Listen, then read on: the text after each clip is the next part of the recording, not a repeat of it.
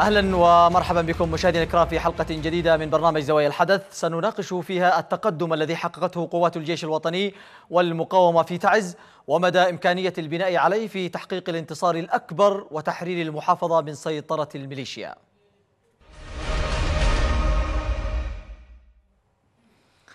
من جديد تقدم الجيش الوطني والمقاومة الشعبية بعد أن كانوا لأشهر في مواقع الدفاع والتصدي لهجوم الميليشيا.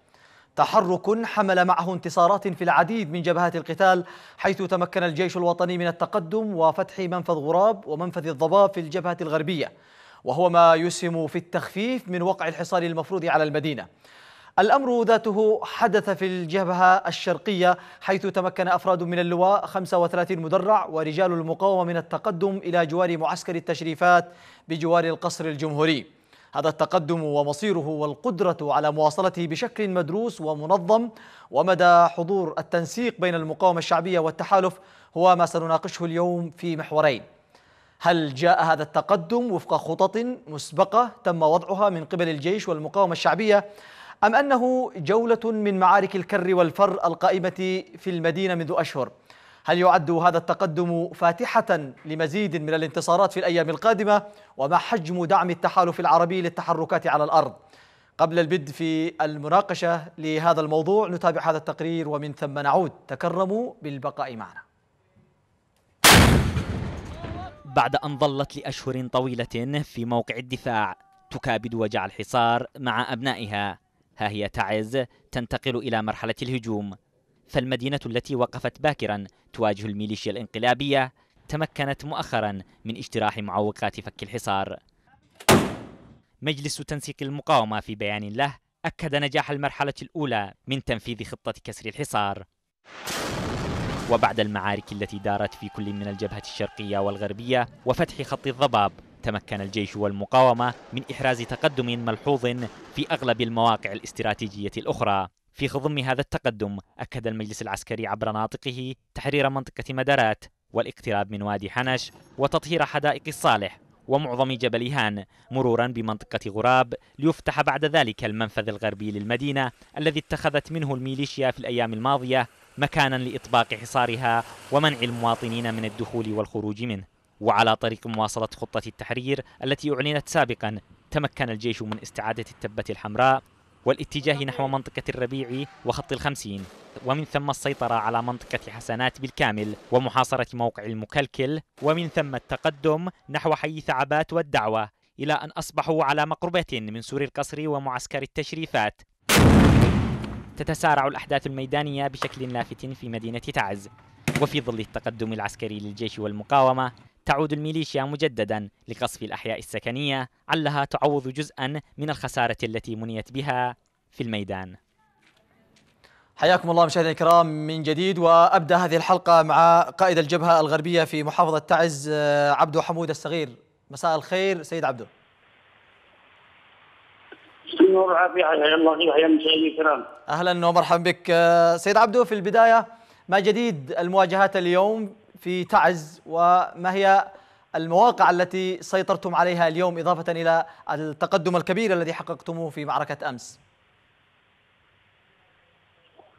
بسم الله الرحمن الرحيم. انطلاقا من صد العدوان ورد هذا الظلم الجائر وهذا القتل الذي منهج من هذه الميليشيات المجرمه وتدعى هذه الميليشيات قبل تقريبا 48 ساعة بالهجوم باتجاه مواقع المقاومة. بشكل كبير ومكثف مستخدمة جميع الأسلحة المتوسطة والثقيلة سواء القريبة أو البعيدة.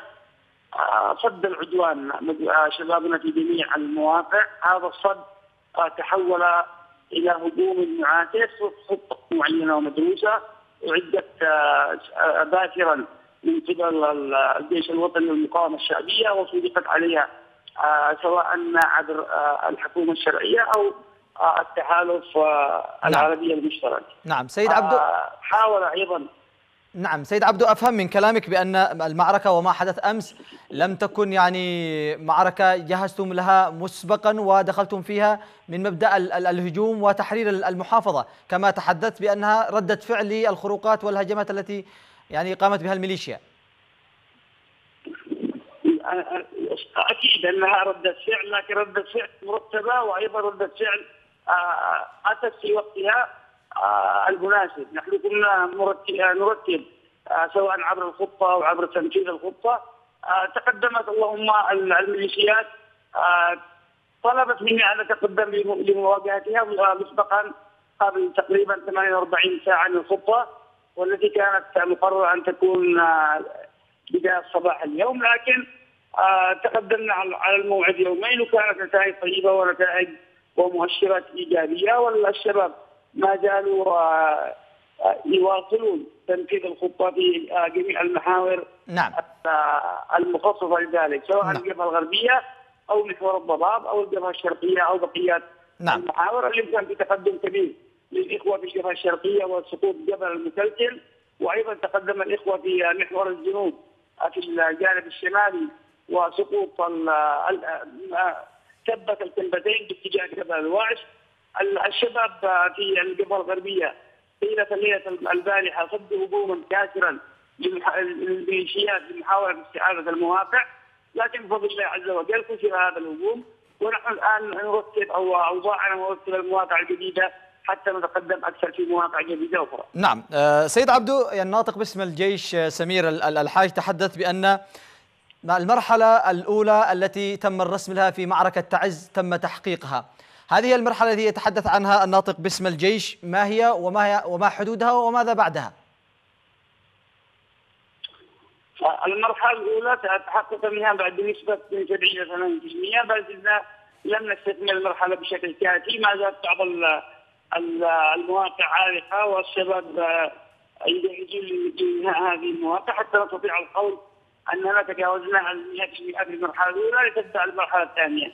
نعم. حدود والمرحلة أعتقد أنها من الأسرار التي لا يمكن أن نصل بها حتى لا ياخذ العدو تمركزه وتموضعه في هذه المناطق فيكثر من ضربات نعم. سواء المدفعيه أو نعم نعم وغيرها. نعم آه، ربما لا نتحدث آه، سيد عبدو عن تفاصيل معركتكم بالتأكيد.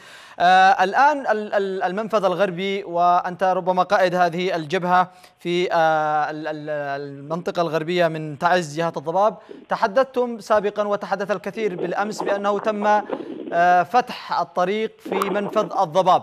هل يمكن الآن القول بأن الطريق أصبح سالكا وبإمكان العبور منه وتأمينه بشكل كامل أم لا زال هناك يعني آه، جيوب للميليشيا وما زال هناك معوقات لم تسمح بفتحه نهائيا؟ نعم أنا قلت في البداية أن الخطه لم تنتهي بنسبة 100% كانها 70 70 إلى 80 بمعنى أنه ما زالت هناك مواقع العدو يتحصن فيها أيضا ما زالت آه، حقول الغام آه، تملأ الأمكنة وما زلنا نواصل قضية آه، نجعل الغام من هذه الأماكن ومن المواقع التي سيطرنا عليها. للسيطره على بقية المواقع. تقريبا بقي بعض المواقع البسيطة جدا. سيتمكن الشباب خلال الساعات القادمة من تصفية هذه المواقع وتصفية الجيوب المتواجدة في هذه الأماكن.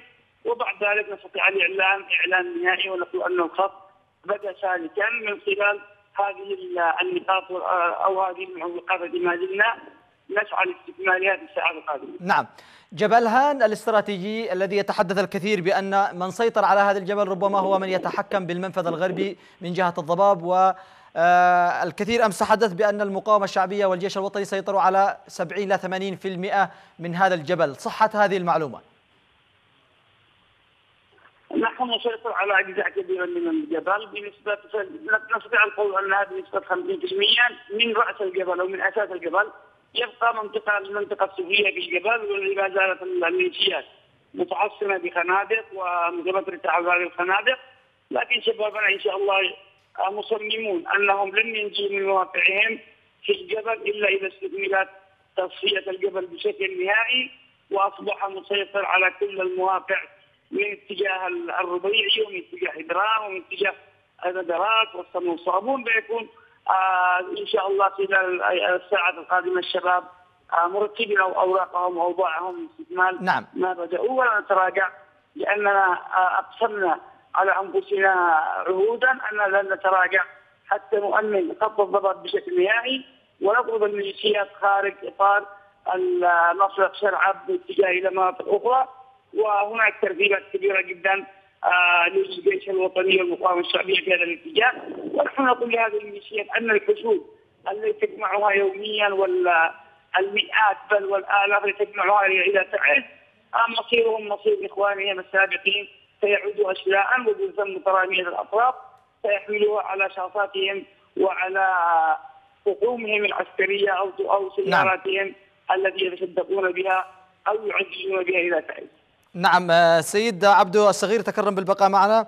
نشرك معنا في الحديث قائد اللواء 35 آه، مدرع سيادة العميد عدنان الحمادي. مساء الخير سيادة العميد. مساء الخير عليك وعلى ضيوفك على كل آه، مرحبا بك سيادة العميد. ربما الحديث كثر عن تحرير محافظة تعز وربما كانت أمس الانتصارات كبيرة حققتموها الجيش الوطني والمقاومة الشعبية في تعز. لكن السؤال الذي يسأل الكثير آه، هل ستكون هذه هي المرة الأخيرة لتحرير تعز وفك الحصار نهائيا أم أنها ربما ردة فعل كسابقتها وربما ما إن تبدأ ويتم تحرير وفتح هذا المنفذ حتى يعود إغلاقه من جديد من قبل الميليشيا؟ آه، بسم الله الرحمن الرحيم. بالنسبة للانتصارات التي حققت امس أو الانتصارات السابقة التي ذكرتها وقلت إنه لم يحافظ عليها ولم نعم. يكون عدم الحفاظ عليها نتيجة تقصير من الجيش الوطني أو المقاومة، الجيش الوطني والمقاومة قد يقدموا أغلى ما عندهم وهي الروح. نعم. والنفس من أجل هذا الوطن ومن أجل تعز بالذات. آه، آه، ولكن ليس هناك قصور آه، زي ما ذكرت لك في الجيش الوطني أو في المقاومة الشعبية وإنما القصور ينتج نتيجة الإمكانيات ونتيجة الحشود الكبيرة التي يتم حشدها من قبل العدو. نعم. وفي الأيام هذه السابقة بدأ الجيش الوطني والمقاومة الشعبية في مرحلة تحرير تعز والخطة موضوعها إن شاء الله وإن شاء الله الدعم الذي سيقدم للجيش الوطني وللمقاومة الشعبية سيتم الحفاظ عليها، لدينا في تعز في الجيش الوطني والمقاومة الشعبية وأبناء تعز بشكل عام رجال وشيوخ ونساء وأطفال المعنويات العالية والعزيمة العالية وعاقدين أيضا العزم على تحرير مدينتنا. وإن شاء نعم. الله سنحافظ بقدر ما نستطيع على كل شبر نحرره ونستعيده من الغزاة. نعم. سيادة العميد أف يعني آه، ذكرت في كلامك بأن الدعم الذي سيصل إلى الجيش الوطني والمقاومة سيتم الحفاظ عليه والاستفادة منه. أفهم من كلامك بأنه حتى اللحظة لم يصل الدعم الكافي واللازم لانطلاق هذه المعركة والتي تحدث فيها ناطق الجيش الوطني بأنها تم تحقيق المرحلة الأولى وهناك المرحلة الثانية والثالثة لتحرير محافظة تعز. آه بالنسبة للدعم الدعم هو يأتي عبر مراحل. ولكن إحنا في زي ما قلت لك إحنا عاقدين العرض بالإمكانيات الموجودة لدينا وما وما سيقدم آه، من دعم إضافي. سنستكمل فيه تحرير بقية المحافظة. سنتمسك بكل موقع بعزيمتنا بإصرارنا آه، عدالة قضيتنا. سنتمسك بكل موقع نستعيده من تحت سيطرة الميليشيات الانقلابية. والدعم سيكمل المشوار لتحرير بقية المحافظة. والمحافظات الأخرى إن شاء الله. نعم سيادة العميد ربما هذه المرة هناك حديث آه، كثير آه، عن آه، محافظ تعز بأنه تنسيق وأيضا اتصالات رئيس الجمهورية بالمحافظ وأيضا أخبار تتحدث بأن التحالف هذه المرة يدعم تعز وبشكل قوي وقد اتخذ القرار وهو قرار سياسي بتحرير محافظة تعز. هل فعلا تلمسون هذا التحرك الجاد هذه المرة؟ أكيد نلمس ذلك قيادتنا الشرعية ممثله بفخامة الأخ رئيس الجمهورية وأيضا الأستاذ رئيس الوزراء وكل الحكومة وأيضا دول التحالف وعلى رأسها الشقيقة المملكة العربية السعودية وملكها سلمان وكذا دولة الإمارات العربية المتحدة ورئيسها وكل دول التحالف نلمس إنهم جادين في تقديم الدعم الكامل لتحرير سعد وقد بدأ بالفعل هذا الدعم. نعم. وأيضا نشاهد إنه كثافة الطلعات الجوية والضربات الجوية الموفقة التي ترافق الأعمال القتالية هذا يدل على إن القرار قد اتخذ والنية الصادقة في تحرير تعز إن شاء نعم. الله نعم سيادة العميد الريف تعز وفيما يخص جبهة الأحكوم وظبي عبوس في حيفان ما هو جديد هذه المعارك اليوم؟ كنت تحدثت معنا في حلقات سابقة بالأمس وأيضا قبل يومين بأن هناك نية كبيرة لفتح الطريق الذي كانت تحاول الميليشيا قطعه الرابط بين تعز وعدن. آه، أين وصلتم بهذا الصدد؟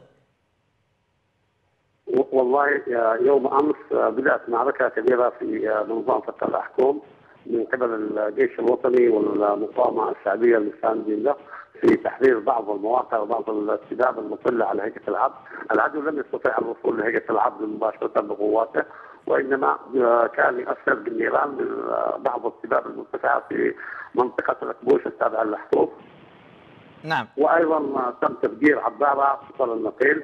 ليس من قوات العدو الغازية التي أتت من آه، مران ومن آه، نعم. آه، مناطق الشمال الشمال.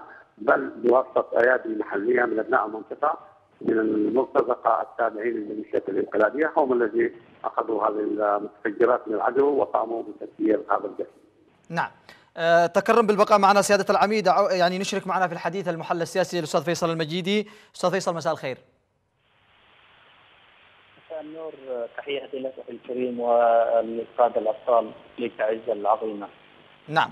أه سيد آه، مجيدي ربما آه، كما سمعنا من القائد الميداني قائد الجبهة الغربية سيد عبد الحمد الصغير وأيضا قائد اللواء 35 مدرع آه، العميد عدنان الحمادي.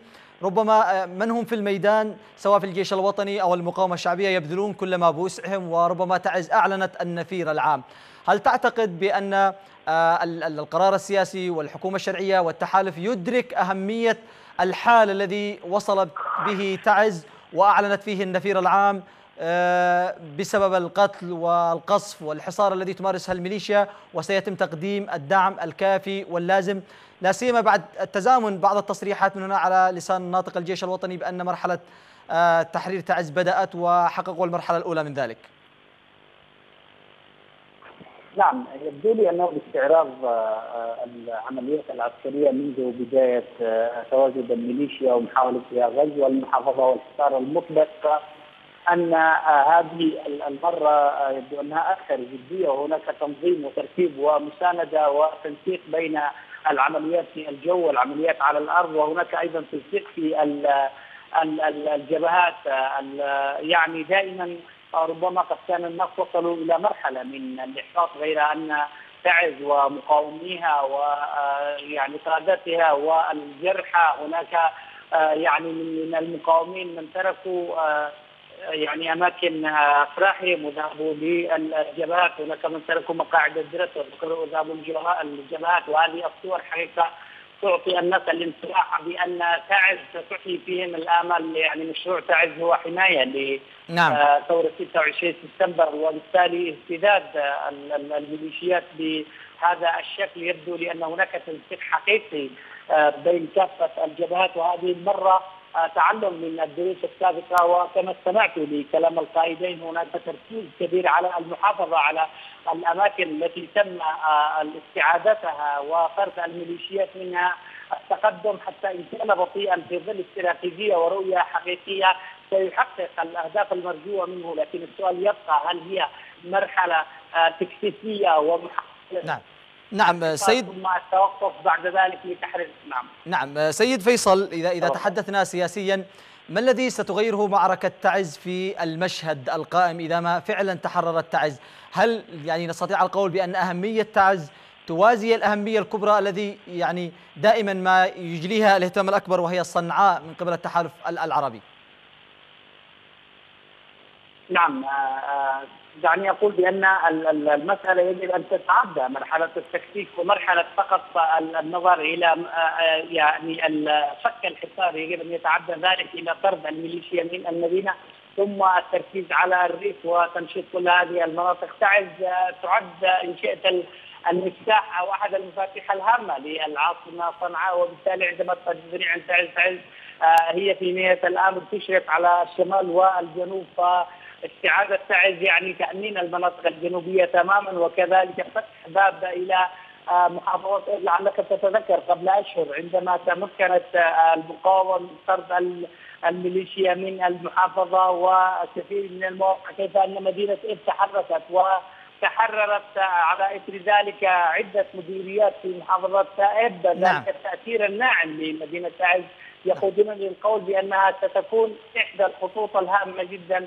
للذهاب إلى صنعاء ومن ثم آه، أيضا الذهاب إلى الحديده وتأمين الجنوب القلعة آه، آه، الثورية باعتبارها أيضا نعم. ينظر إليها الكثيرون بأنها حقيقة مؤشر حقيقي على انتصار الثورة نعم. نعم أشكرك جزيل الشكر المحلل السياسي فيصل المجيدي كنت معنا عبر الهاتف من القاهرة عودة إلى آه، قائد المقاومة آه، في الجبهة الغربية سيد عبدو حمود الصغير سيد عبدو ربما الآن هناك حديث بأن هناك تقدم وسيطرة المقاومة على العديد من المواقع في آه، في صالة ما صحة آه، هذه ال- ال- الأخبار هل لديك أي معلومات بهذا الخصوص؟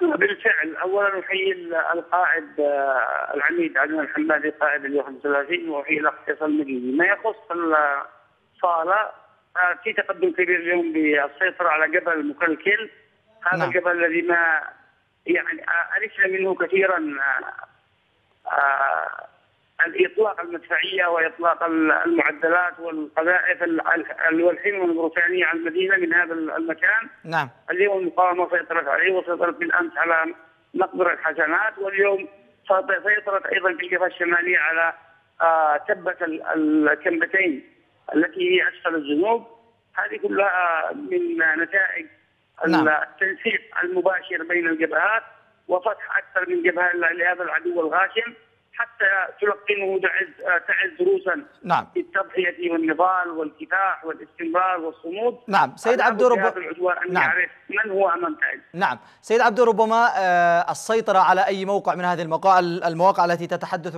تتحدث عنها بيكلفكم الكثير وهناك تضحيات كبيرة يعني شهداء وجرحى من أبناء محافظة تعز سواء من الجيش الوطني والمقاومة الشعبية. هل آه، سيتم الحفاظ على أي موقع تسيطرون عليه؟ لا سيما وأنتم تقدمون تضحيات كبيرة. آه، بعكس المرات السابقة ربما كان هناك تضحيات كبيرة وتم فتح المنفذ الغربي وفك الحصار عن تعز وبعد ذلك تراجعتم وعادت الميليشيا مرة أخرى. ولذلك نعمل بطريقة متأنية وطريقة ثابتة نسيطر على مجموعة من المواقع ثم نثبت هذه المواقع ثم ننطلق إلى ال- التحرك باتجاه مواقع جديدة وهذا ما شهدناه في التقدم الأخير للمقاومة سواء في الجبهه الغربية أو الشرقية أو الشمالية هذا جزء من تكتيك وعد بعنايه وترتيب وعد بعنايه عدة مجموعة وكوكبة من العسكريين ومشاركة أيضا قيادة المقاومة الشعبية في ذلك. نعم آه، سيد عبدو أختم معك بسؤال أخير. هذا الترتيب الكبير الذي تتحدث عنه بينكم في المقاومة الشعبية والجيش ال- الوطني وبدعم من التحالف العربي هل بدأتم تلمسون دعم حقيقي أو على الأقل آه، تنتظرون وصول هذا الدعم لخوض معركة نهائية وفاصلة في تعز؟ لا أضيف على ما قاله الأخ العميد عبد الحمادي في هذا الجانب.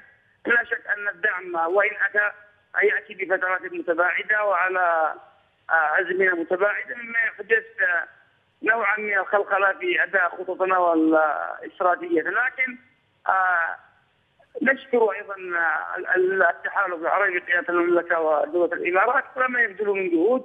نشعر بمدى جدية هذا التحالف في سبيل خلاص اليمن من هذا الكابوس. آه لا شك أن لديهم عقبات ولديهم أيضا آه، آه مهام كبيرة جدا سواء على مستوى تعز أو على مستوى اليمن بشكل عام آه يؤدون ما عليهم وان تاخر الدعم آه، نوعا ما. لكن آه نحن نعمل كثيرا بانه سيصل ولدينا وعود في هذا الجانب بشكل كبير جدا نأمل أن تنفذ هذه الوعود ونحن على ثقة. في القريب العاجل. أشكرك جزيل الشكر قائد المقاومة آه، في الجبهة الغربية سيد عبدو حمود الصغير كنت معنا من تعز عودة أخيرة إلى آه، سيادة ال- ال- العميد عدنان الحمادي قائد اللواء 35 مدرع سيادة العميد إذا ربما المعارك تدور في أكثر من محور وفي تعز وفي ريف تعز. هل هذه الجبهات كلها تحكمها قيادة واحدة تمشي وفق خطط وأطر معينة أم ربما آه، يعني التنسيق محدود في بين الجبهات؟ آه، فعلا أخي ال- بالنسبة لتعز آه، تحكمها قيادة واحدة وهي قيادة ال- المحور. برئاسة قائد المحور الأخ اللواء خالد فاضل. وأيضا آه، ثلاثة الالواء اللي هو 35 و17 وأيضا اللواء 22 آه، قادة الالويه يديروها ويديروا بعض المقاومة الموجودة في اطارها وكذلك قادات المقاومة اللي في الميدان كالاستاذ الشيخ عبد حمود وأيضا الأستاذ أبو العباس كتائب حسن بقيادة عدنان أبو زيد. آه، كل القياده قيادة واحدة والقرار واحد والأمر واحد. والدعم يأتي من مصدر واحد. آه، لا تفرق في تعز كل الناس آه، الجهود كلها تصب من أجل تحرير محافظة تعز سواء المدينة أو الريف. نعم. سيادة العميد ربما كلمة أخيرة أو بشارة منكم لأبناء محافظة تعز فيما يخص التحرير. وفك الحصار عن تعز ماذا تقول لهم في هذه اللحظات؟ وأمام التقدم الكبير للجيش والمقاومة في كل الجبهات. أقول لهم صبرتم آه، الكثير عانيتم الكثير ضدتم آه، أنواع العذاب سواء في الحصار أو في القصف دمرت البيوت على رؤوسكم ما باقي إلا القليل. آه، التفوا حول الجيش الوطني والمقاومة الشعبية. ابذلوا كل الجهود من أجل تحقيق الانتصار الحاكم. لا يمكن أن يتم الانتصار إلا بتكاتف كل الجهود سواء الجهود الشعبية أو جهود المقاومة والجيش الوطني. نعم. آه معنويتنا نستمدها من حاضرتنا الشعبية من أبناء آه المحافظة من أهلنا من أخواننا في مناطقنا في الريف في المدينة في كل حي في كل شارع. آه نجدهم متفاعلين معنا نجدهم آه يندفعون من كل قوة يجدون المقاومة عن أماكن تواجد العدو وعن المباني اللي فيها القناصه الحمد لله. نعم. أشكرك. جزيل الشكر قائد اللواء 35 مدرع سيادة العميد عدنان الحمادي كنت معنا من تعز. الشكر أيضا للسيد عبدو حمود الصغير قائد الجبهة الغربية للمقاومة الشعبية في تعز.